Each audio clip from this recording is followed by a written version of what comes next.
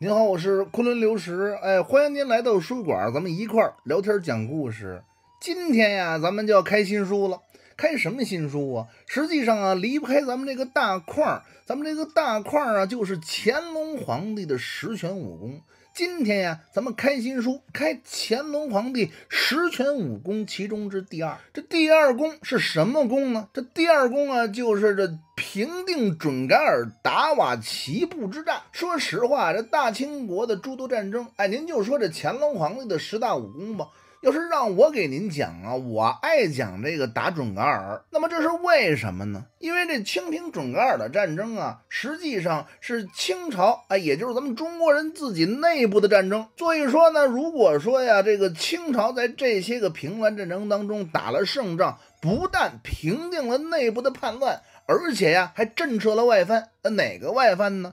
就是北边那个红毛鬼子国呀，那个沙俄帝国，哎，那帮子俄区啊，离我远着点儿啊！我这骂的是沙俄帝国，现在这个帝国没有了，不是你爹现在的俄罗斯。咱们聊的呀是古代史，那会儿啊，就是称呼这些老毛子呀为罗刹人，他们那个国家叫罗刹国。不信呢，您去看那个康熙皇帝的起居注去。您看啊，这墨西蒙古准噶尔部，他后来叫什么呀？他叫准噶尔汗国。他经常呢和他这个宗主国大清朝廷啊找事儿，没怎么着呀，就刀兵相见了。这里边啊，十次打起来呀，那有九次都是这红毛鬼子呀，这俄罗斯人撺的着，不是给钱啊，就是给炮。他们撺的这个准噶尔汗国闹独立、闹分裂，那这里边对他们有什么好处啊？等你独立了之后，他一口再吃了你，那那大片的土地不就成他的了吗？既然咱们这故事啊都讲到了这乾隆年平定准噶尔的达瓦齐部啊。说实在的，好日子一天天的就来了。为什么呀？因为这就象征着这个准噶尔汗国呀，一步一步的正在走向灭亡，距离呀这准噶尔部走向灭亡、彻底的王族灭了种的日子呀，是越来越近了。讲啊，哎，您先别忙，哎，咱们虽然说呀，咱们讲的是这个达瓦齐布之战，但是要是讲到达瓦齐本人身上啊，咱们得且几集呢。我得呀把这条故事线呢给您捋清喽，展开了，不是？那咱们今天呀，就得先说说这大清国和这蒙古诸部的恩怨情仇。咱们要是往前倒啊，咱这步子就得迈得大点儿。那么到哪儿呢？那就得说到这个明朝末年，以这个隔壁沙漠为界呀。这蒙古啊，分了三大部分。哎，第一部分就是漠南蒙古，然后是漠北蒙古，再然后啊就是漠西蒙古。这漠南蒙古啊，我们都熟悉。这漠南蒙古啊，它包括了这科尔沁部、哎察哈尔部、土默特部和这个乌拉特部。哎，当然了，还有一些小部落，不过我们都习惯的称它为啊这个察哈尔部。您看呢，这个现在的内蒙古没啊？哎，基本上就是当年的这个漠南蒙古。那么这个漠北蒙古呢？这漠北蒙古啊，又被称为喀尔喀部，其中啊就包括了像什么车臣汗国、土尔谢图汗国。因诺言、扎兹克图等等，这一地区在哪儿呢？这一地区啊，就在现在的外蒙。那么说这漠西蒙古在哪儿？这漠西蒙古啊，就在现在的新疆以及俄罗斯的部分地区，还有西亚的部分地区。这漠西蒙古啊，被称为这个厄鲁特蒙古，或者是被称为卫拉特蒙古。不过我们现在一般都说它呀，叫做这个。厄鲁特蒙古，哎，它都包括了什么部落呢？它都包括了准噶尔部、和硕特部和这个图尔扈特部，还有这个杜尔伯特部等等。哎，您听清了没有啊？咱们要说的这个主角，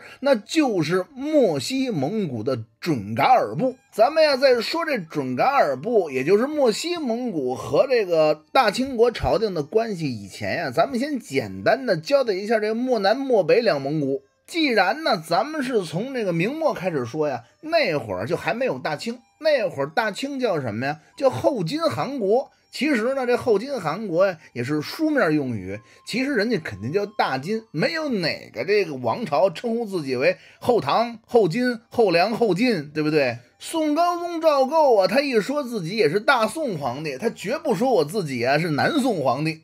所以说呢，这一点读书的小技巧您得记清楚了。哎，这读书可以这么读，聊天不能那么聊。我们都知道，这努尔哈赤刚创业的时候，实际上他的实力非常的弱小。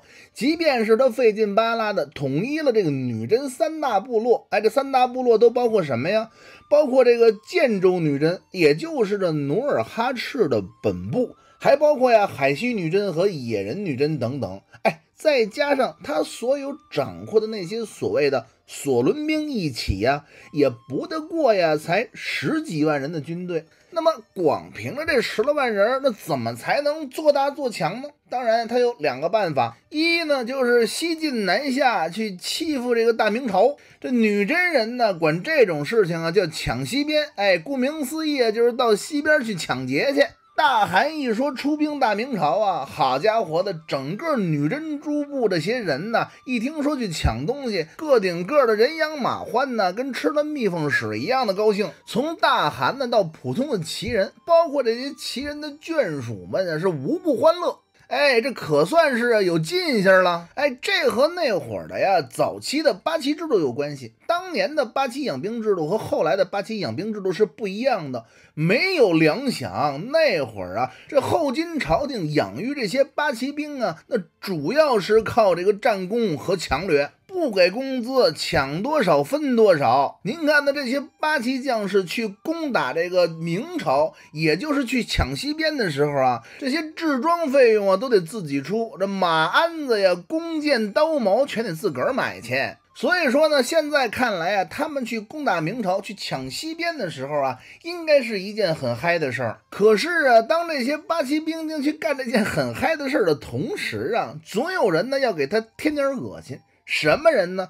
这就是漠南蒙古的林丹汗。要说这林丹汗呢，角儿跟份呢，绝对是够大。他是这个蒙古啊的第三十五任大汗，这算是传承有序啊，是从这成吉思汗那传下来的。所谓的这黄金家族啊，说的就是他们。要说这林丹汗这一辈子呀，睁开眼睛想事儿，闭上眼睛做梦，哎，就只有一件事，什么事儿啊？复兴他的大元帝国，那要复兴大元帝国，那第一件事就要办什么呢？那就得先呢统一这蒙古诸部。哎，这统一蒙古诸部说说容易，可是啊干起来那真是不容易。那为什么说不容易呢？因为这会儿的林丹汗那势力实在是太绕了。还别说呀，统一这个漠南、漠西、漠北诸蒙古部落了，就是他的政令啊，连漠南蒙古，哎，也是没人听，只能控制自己实际的这个。察哈尔部蒙古，那他和这个努尔哈赤想的一样啊，自己怎么才能够做强做大呢？于是，在一六四零年那会儿啊，在明朝讲啊是崇祯年，在这后金讲啊是皇太极的崇德年。这林丹汗啊会盟蒙古诸部啊，他就想出了一条政策，他们呀商量出来一个计策。每当这个皇太极呀，哎，这个后金政权去抢西边的时候，他们呀就偷偷摸摸的。去攻打这个后金政权的老巢，从内蒙啊进辽宁，走法库进铁岭到二木林，路过赵本山他们家之后啊，哎，就到了赫图阿拉努尔哈赤的老巢了。这条路啊，我走过。虽然说呀，哎，有山有沟有壑，但是啊，没有实际想象的那么难走。更何况啊，这大军呢都去抢西边了，这后金政权呢就更拿不出兵力来防御这支蒙古骑兵了。那该怎么办呢？实际上，在努尔哈赤他活着的时候啊，就已然有对策了。他针对这个漠南蒙古的办法啊，就是啊，要么大棒，哎，我出兵揍你。要么这样，我就跟你和亲。这种和亲呢，跟这个中原王朝对少数民族的和亲还不太一样。这八旗制度下的和亲呢，是这样的，呃，不是广嫁闺女，是也嫁也娶，哎，叫互为生就的关系。这努尔哈赤本人呢，他就迎娶了这科尔沁贝勒明安的女儿博尔济奇特氏为侧福晋。所谓这布尔基奇特氏啊，实际上啊，它也是这个成吉思汗博尔之金氏的这个别称。正经啊，也能算上这黄金家族的后裔。那这实际意义是什么呢？这实际意义呀，就是说这努尔哈赤他已然成为了黄金家族，哎，蒙古大汗的女婿。他们那儿啊不叫姑爷，他们叫什么来着？呃，叫大汗家的额驸。努尔哈赤死了以后，就是皇太极继位。这皇太极他认为啊，自己的阿玛，也就是努尔哈赤啊，对付漠南蒙古这办法呀，很好，很鲜灵。所以说，就延续了这努尔哈赤对付漠南蒙古的方针，一边呢和这林丹汗交战，另一方面呢，我还要娶你们部落的女人。要说啊，这儿子皇太极可比他爹努尔哈赤敢下诏令，这一下子呀就娶了六位布尔季吉特的姑娘，其中呢，光这科尔沁贝勒蒙古斯他们家呀就娶了三位。哎，一位是谁呢？是哲哲，还有一个是木布泰，再有一位啊，就是海兰珠。您可别小看这三位，这三位啊，在清初后宫当中的地位那是相当的高啊。哲哲那是大福晋，布木泰就是后来的孝庄皇后，顺治皇帝的妈妈。这海兰珠啊，那可是这皇太极一生的白月光。他最爱的女人，这里边啊，他有一个小故事，我得给您说说。哎，从今天的角度看呢，算是一个伦理哏的小笑话。哎，咱们讲古代故事嘛，哎，不笑白不笑。那是什么笑话呢？哎，咱们说这个皇太极的老丈人莽古斯，他是谁的爹呀？他是哲哲的爹，是这布木泰和海兰珠的爷爷。这莽古斯啊，有一个弟弟叫明安。刚才呀，咱们不是说了吗？这明安把自个儿的闺女啊嫁给了努尔哈赤，就是努尔哈赤那侧福晋博尔济吉特氏。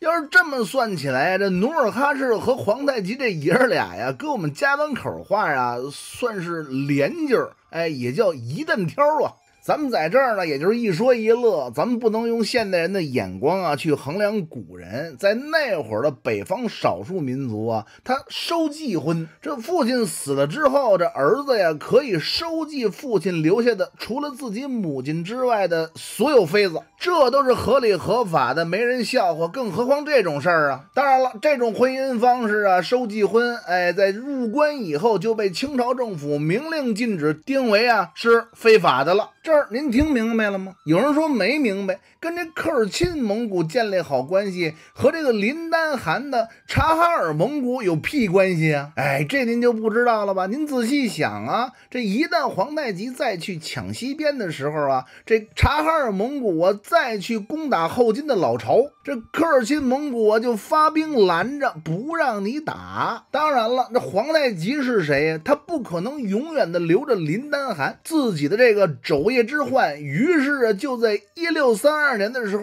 彻底击败了林丹汗。要说呀，还得是皇太极呀，真有出手的。这皇太极呀，抓获了林丹汗的八位福晋以后啊，将这些妃子呀，哎，自己留两个，送给兄弟两个，再送给侄子两个。难道说这帮女真男人就真的爱这些蒙古女人吗？实际不是，这叫做杀人诛心，是完全能活活的把人气死。哎，就是这么地，就靠这一招，这女真人呢一下子就收服了这漠南蒙古，彻底呀消除了自己的肘腋之患。今天呀，咱们把这个女真人，也就是清朝人呢，和这个漠南蒙古的关系稍稍的讲了讲。明天呀，我还得给您捋捋这清王朝啊和这个漠北、漠西蒙古的关系。很快呀，这大清国真正的敌人、真正的对手就要出场了。哎，要知后事如何，是您且听下回